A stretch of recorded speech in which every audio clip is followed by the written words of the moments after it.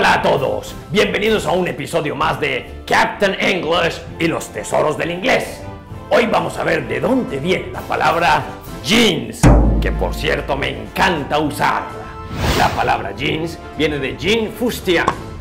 Fustian era el nombre de la tela de algodón que se utilizaba para fabricar los jeans. Y jean era un adjetivo en inglés antiguo que significa que proviene de Génova, la ciudad italiana donde se fabricaba la tela fustian. Con el tiempo, la escritura pasó a ser jeans y se volvieron muy populares hacia 1960. Ya lo saben amigos, cada vez que se pongan los jeans, saben de dónde viene la palabra gracias a Captain English. Ay, ay, ay.